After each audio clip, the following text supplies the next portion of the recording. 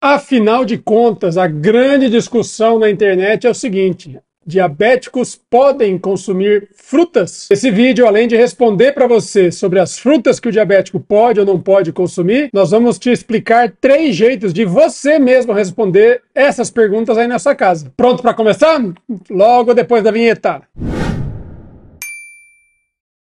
Fala pessoal, saudações metabólicas. Aqui é o Dr. Guilherme Marquezine. Seja muito bem-vindo ao canal da Escola do Diabetes. Nós nos dedicamos à reversão do diabetes tipo 2. Na verdade, eu me dedico a ensinar vocês sobre a reversão do diabetes tipo 2. Nossa missão aqui na escola é um dia o IBGE contar para nós que conseguimos reverter um bilhão de casos de diabéticos no Brasil. Isso só será possível se você me ajudar. Como é que você pode me ajudar? Joinha curtidas, likes, comentários, compartilhamentos. A gente precisa passar essa informação adiante. Eu puxo a fila, aprendi certas coisas, coloquei em prática, deu certo, quero contar para mais gente. Montei um canal no YouTube sobre isso. Você pode contar para os seus colegas de trabalho, para os seus familiares, seus amigos, seus conhecidos diabéticos. Você conhece algum? Provavelmente sim, porque o que mais tem hoje em dia por aí é diabético. Se você acreditou naquela história que o diabetes é de fundo genético, como é que você pode me explicar uma doença genética cuja taxa na população multiplica por 20 em poucas décadas. Já parou a pensar que doença genética não se comporta assim? Isso é o típico comportamento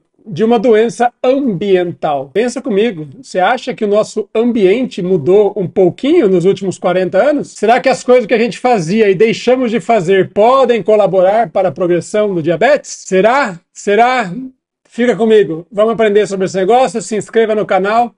Hoje o papo é frutas. Frutas tão naturais, tão docinhas, frescas daqui, tem casca dali, mas tem açúcar. E agora, o que, que eu faço? Vamos tentar achar uma regra para esse negócio aqui. Primeiro de tudo, frutas não necessariamente têm açúcar. É verdade que a maioria delas tem uma sementinha dentro e essas sementinhas vêm acompanhadas, geralmente são cobertas, mas às vezes vêm por fora também, de uma camada de alguma coisa que estimule os animais a comê-las. Então, geralmente um açúcar, mas pode ser uma gordurinha, como no caso do abacate, por exemplo. Mas olha, para comer um abacate engolir a semente tem que ser um bicho bem grande. Piadas à parte, a teoria que os biólogos comentam é que as plantas tentam enganar, convencer os animais a comer as suas sementes e plantá-las já adubadas lá na frente. Faz sentido, né? Seria um mecanismo de dispersão do DNA da planta. Não faz muito tempo, era pouco açúcar que tinha nessa história, viu? Não sei se você já viu fotos na internet das frutas antes que nós as plantássemos, antes que o ser humano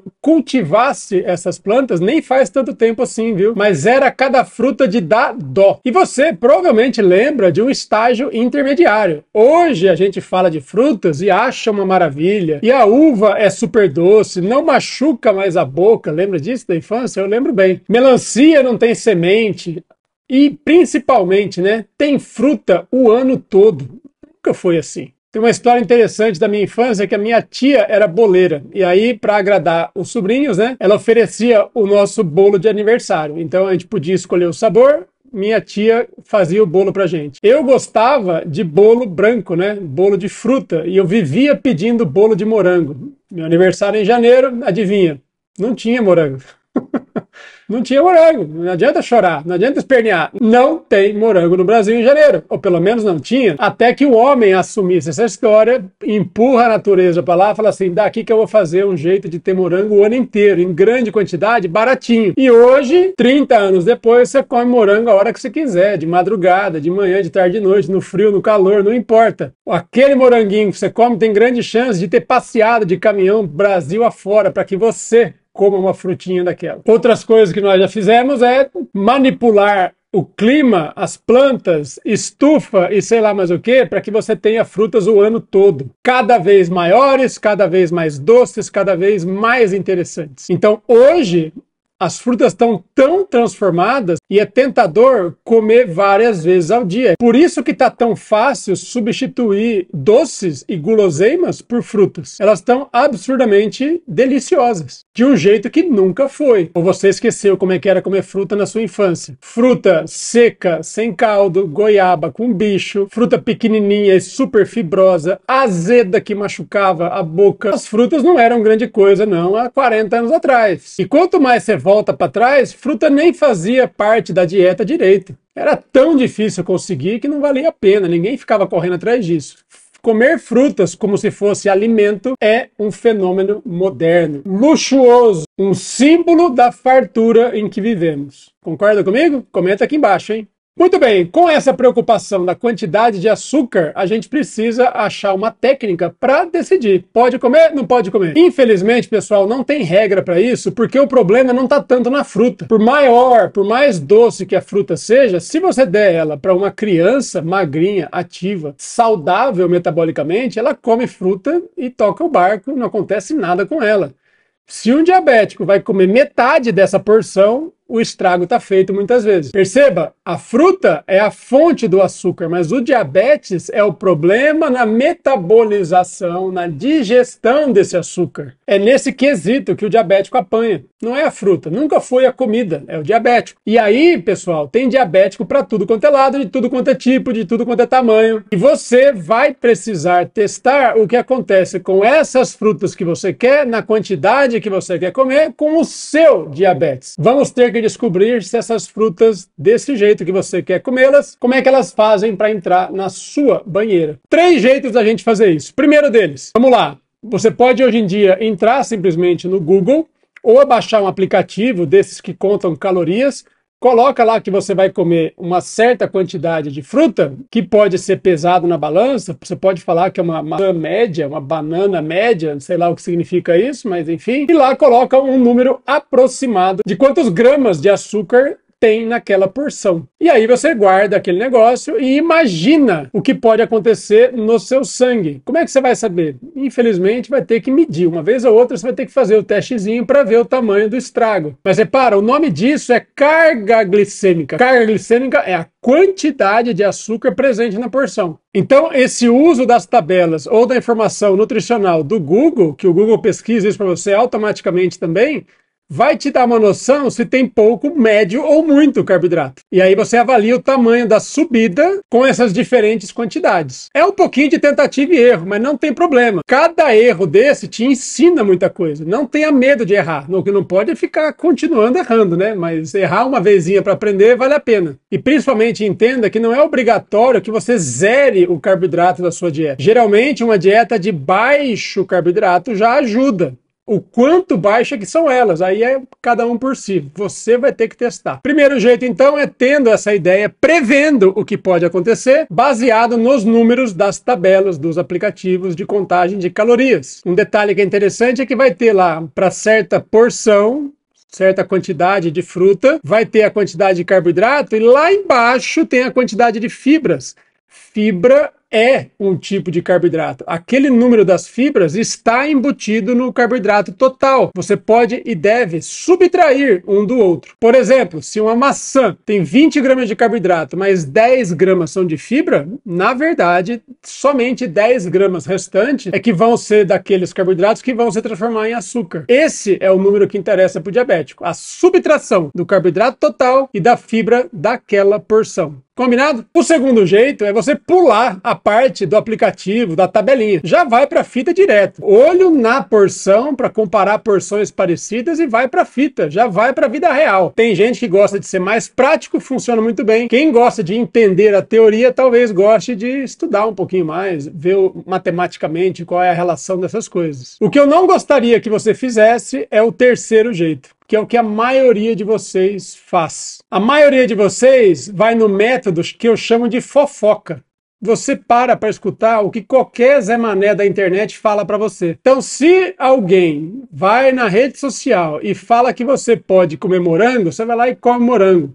Você não presta atenção em quanto, você não presta atenção no que, você não presta atenção com o que você consome o seu morango, você não para para aprender nada. Alguém te falou, você acredita, você vai lá e faz. Hoje você come cinco morangos, amanhã você come 25, você não tem nem noção. E muito menos você vai testar o dedo, porque ninguém te falou de testar, só te falou que é bom. E aí acontece com a banana, e quantos tipos de banana você conhece? Porque a banana prata, tem vídeo da banana ouro, tem vídeo da banana terra, tem vídeo da banana com canela. Sabe quando você vai aprender de verdade o que acontece quando você come esse monte de tipo de banana? Nunca. Porque você, na real, não está olhando, você está fofocando, você está trocando figurinhas opiniões por aí com gente que você nem conhece. Esse é o pior jeito. Não pode ser Maria vai com as outras na internet, gente. Você não sabe quem é a Maria. Você não sabe quem são as outras. Você tem que ter uma opinião bem formada, de preferência baseada em experiências próprias. Ah, mas dá trabalho. É, mas ficar doente dá mais trabalho ainda. Diabetes alto é ter, dá um trabalhão que você não tem ideia. Ter problema no pé, no rim, no, no, na visão. É claro que dá trabalho. O que vale a pena nessa vida sempre dá trabalho. Mas esse é um trabalho que você quer ter, porque é um trabalho que te protege, é um trabalho que vai te levar para um lugar melhor. Combinado? Quer relembrar então? Primeira técnica, olho nas tabelas, nos aplicativos, nos sites. Você pode procurar na sua loja de aplicativos contagem de calorias, já vai dar certo. Outro jeito é você já partir para fitinha. Sem olhar para a tabelinha, já come a sua fruta e veja. Veja o que acontece duas horas depois da primeira garfada. E finalmente, o pior dos jeitos é não fazer nada disso é joga para cima, salve-se quem puder. Papai do céu que me proteja e eu vou fazer o que me mandarem. Seu médico manda uma coisa, sua Nutri manda outra, o cara da Nutri lá da outra cidade na rede social fala outra e você tá igual barata tonta, sempre sem rumo, sempre a cada refeição começando do zero. Não é péssimo isso? Chega dessa vida, hein? Você precisa começar a acumular conhecimento. Quer ver o que acontece com a glicose? Não faz sentido ter que medir a glicose? Agora que já está sabido, eu vou te dar uma última dica, só para quem ficou até o final. A minha dica é o seguinte: para de olhar para o índice glicêmico. O índice glicêmico é famosérrimo na internet. As nutricionistas adoram o índice glicêmico. Só que para diabético ele agrega muito pouco. Existe a teoria do índice glicêmico, que se refere à velocidade que esse açúcar, o carboidrato que você consumiu, vai ser digerido, absorvido e parar no seu sangue. Índice glicêmico alto absorve rápido. Índice glicêmico mais baixo absorve devagar. O que eu critico é o seguinte: não é o índice que não é o índice glicêmico que garante, não é o índice glicêmico que define a altura que você vai depois de comer. Quem define isso é a carga glicêmica. Você não me escuta eu falando de índice por aí. E tem um motivo, não funciona. Eu vivo criticando, e não é birra, eu vivo criticando a aveia por conta disso. A aveia tem um índice glicêmico super, super baixo, mas a carga é alta. E a carga faz a aveia subir, nem que seja mais devagar, mas vai subir bastante. Porque eu sou adepto da teoria da banheira. Já viu esse vídeo? Seja independente da sua comida ser absorvida devagar ou rápido, ela vai mais cedo ou mais tarde ter que entrar na banheira. Se não tiver espaço lá, meu amigo, já era, vai sobrar no sangue. Carga glicêmica é importante. O índice, bem mais ou menos. Larga a mão do índice que você vai ser mais feliz. Essa dica só para quem ficou até o final. Combinado? Curtiu o conteúdo? Para você que eu sei que vai reclamar no, nos comentários, quais frutas são as melhores? Coma pouco. Coma uma fruta por vez, sempre de sobremesa. Mas escolhe uma bolotinha daquelas e coma uma. Maçã, pera, goiaba, não todas de uma vez, tá? Escolha uma e coma uma após a refeição. Faz a fitinha pra você ver. Não vai dar grandes problemas, não. O que manda é a quantidade de açúcar em cada porção. Com uma frutinha com bastante moderação que você vê que a coisa funciona. E aí seja feliz, pode comer qual você quiser. O que não funciona é comer meio quilo de uva. É uma fruta super, super doce que é facinho de comer em grande, grande quantidade. Aí, meu amigo, não tem banheiro que aguente. Tamo combinado? Simples assim. Comenta o que você achou. Pode reclamar porque eu não falei das frutas, mas eu quero que você aprenda a pensar, por isso que eu não falo, entendeu? E comenta se você lembrou de algum amigo para compartilhar esse vídeo com eles. Toda semana de dois a três vídeos novos. Tô te esperando pro próximo. Um grande abraço e até lá. E agora, no final do mês, dias 30, 31 de janeiro e 1 de fevereiro, eu preparei aulas para você que está interessado em aprender o mínimo, mas o mais importante sobre o diabetes. Tudo que você precisa saber para começar a alcançar resultados melhores com menos medicamentos. Resultados melhores tanto em termos de disposição de saúde, mas também de exames laboratoriais. É isso que a gente chama de reversão do diabetes. Clica aqui embaixo em Saiba Mais que eu vou estar te avisando quando forem acontecer as aulas. Vamos lá?